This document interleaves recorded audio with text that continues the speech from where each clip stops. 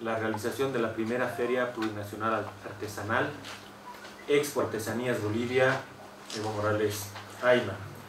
Esta feria va a realizarse a partir del 9 al 18 de diciembre en el campo ferial Chuquiago Marca en el pabellón amarillo.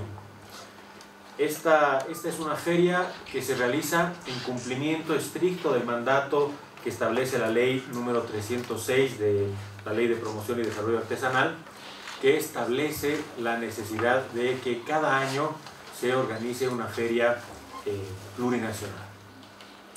Las entidades que están participando en la, organización son el Ministerio de Desarrollo Productivo y Economía Plural, el Ministerio de Planificación para el Desarrollo, el Ministerio de Educación y el Ministerio de Culturas y Turismo.